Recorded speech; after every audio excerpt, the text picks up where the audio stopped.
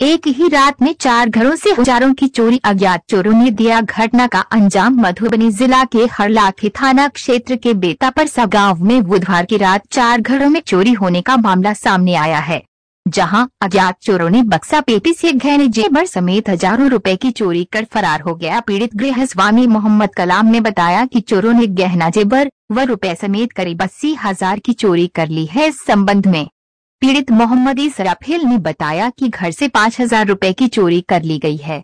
राम सेवक दास ने बताया कि गहने जेबर समेत करीब चालीस हज़ार रूपए की चोरी हो गई है। वहीं मोहम्मद फुल हसन ने बताया करीब दस हज़ार की चोरी हुई है। बताया जा रहा है कि बाहर से कई घरों में कुंडी लगाकर चोरों ने घटना का अंजाम दिया। इधर सूचना मिलते ही थानाध्यक्ष के निर्देश पर एएसआई राम प्रवेश यादव दल बल के साथ घटनास्थल पर पहुँची और पीड़ित परिवार से घटना के संबंध में बारीकी से जाँच पड़ताल किया। ग्रामीण साहिल कुमार, अब्दुल शिवान, भोगेंद्र शाह अशोक दास सहित अन्य लोगों ने बताया कि स्थानीय चौकीदार को दूसरे पंचायत में ड्यूटी दे दिया गया है। चौकीदार को रात का ड्यूटी पंचायत में ही देने का मांग लोगों ने पुलिस प्रशासन से की है। इधर चोरी की घटना से गाँव में दहशत का माहौल कायम हो गया है। इस बाबत थानाध्यक्ष अनुज कुमार ने बताया कि घटना की जाँच चल रही है। अज्ञात चोरों को चिन्हित कर जल्द गिरफ़्तार कर लिया जाएगा। अंदर वाले घर में चल तब हम छेली तब चल रहा तो चोरी हुई थी तब ना चोरी हुई थी। नहीं करता।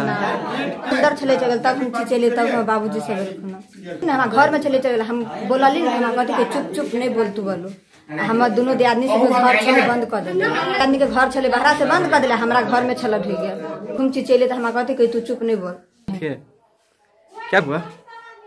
नाम क्या हुआ आपका? लीला दे। घर कहाँ हुआ? घर। बेता हम्म? बेता कर थाना? के। हम लोग ग्रामीण हैं चौकीदार को माने डिप्यूट किए किया गया है और यह जो है ना बोलते हैं हम लोग बड़ा बाबू को भी फ़ोन किए थे कि सर हमारे गाँव में क्या कहते हैं चौकीदार को डिप्यूट कीजिए। तो बोलते थे कि पिपरौन में उसका ड्यूटी लगा हुआ है। हम्म। इसलिए चौकीदार भी बोलते थे कि हमको पिपरौन में ड्यूटी है।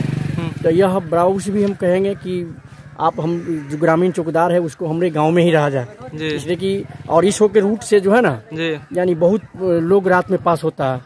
यह बात हम बोले थे तो पर भी इसको संज्ञान में नहीं लिए। आप क्या कहते हैं इससे पहले भी बोले थे हम। फ़ोन करके ही बोले थे कि रात में देखिए। इस के बहुत लोग पास होते हैं रात में तो पर भी इस बात को संज्ञान में नहीं लिया था। काइंडली आप उनसे रिक्वेस्ट करते हैं कि इस चौकीदार को कम से कम डिप्यूट कर दिया जाए। परवाही है हमने खुद बोले थे। है चौकीदार? चौकीदार तो बोलता है कि हमको डिप्यूट कर दिया है वहाँ ड्यूटी वहाँ। काइंडली इसे बार बार रिक्वेस्ट करते हैं कि इसको फिर से पुनः यानी बहाल ग्रामीण ग्राम में कर दिया जाए। बेता परसा दास टोल या क्या कहते हैं साउ टोल हो या शेख टोल हो। डिप्टी ड्यूटी आपका परिचय क्या हुआ? मेरा भोगेंद्र साहू। घर कहाँ हुआ? बेता परसा। थाना। काटि देलक। घर में ढुक गेल खिड़की पछाड़ के। आ पुतहु के कहे मुँह बंद करो।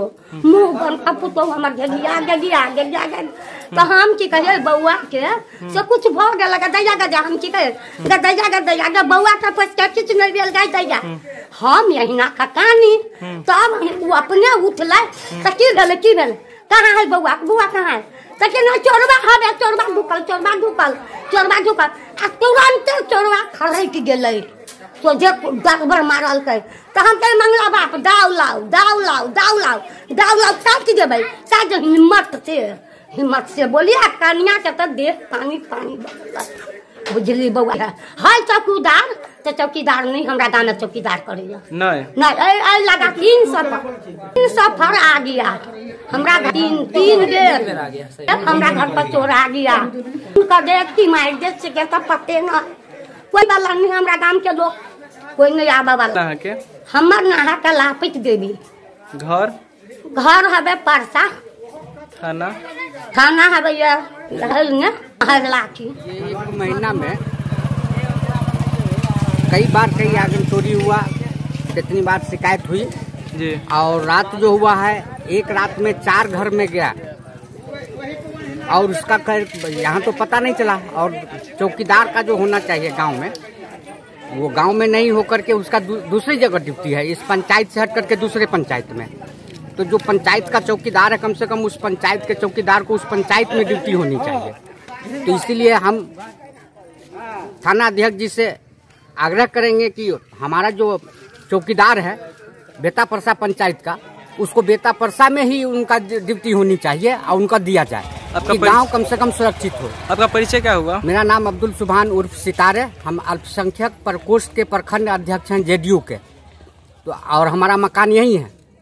तो ये चीज़ हम थाना अध्यक्ष जी से फिर से ये आग्रह करेंगे कि हमारा जो पंचायत का थाना ये चौकीदार है उसको हमारे पंचायत में ही रह, रहने दिया जाए। हमारे गाँव का जो चौकीदार है उसको दूसरे गाँव में उसकी ड्यूटी पिपरौन में लग जाती है। तो गाँव पूरा खाली हो जाता है काफ़ी घना आबादी है गाँव का। तो एक घर में चार चार बार चोरी हुआ और कहीं पता नहीं चल पाया ये बहुत बड़ी बात है कि चोर भी लग रहा है साथी से कि एक ही दिन में चार चार बार चार घर में चोरी हुआ पकड़ाया नहीं। तो काफ़ी ज़्यादा क्षतिपूर्ति हुआ है। उस चौकीदार की ड्यूटी नहीं होने के कारण और फ्री हो गया ना। चौकीदार की ड्यूटी जो यहाँ का बेता परसा पंचायत का चौकीदार है उसकी ड्यूटी पिपरौन में लगी हुई है। और ये गाँव बेता परसा पंचायत पूरा फ्री हुआ। अभी एक महीना पहले जो बेता परसा पंचायत का गाँव है गिदराही वहाँ भी एक दिन में ही चार बार चोरी हुई थी। आज ये बेता परसा गाँव में भी चार बार हो गया। एक ही दिन में चार घर में। बहुत बड़ी बात है ये। परिचय क्या हुआ? मेरा नाम हुआ साहिल जी समाज सेविक बेता परसा।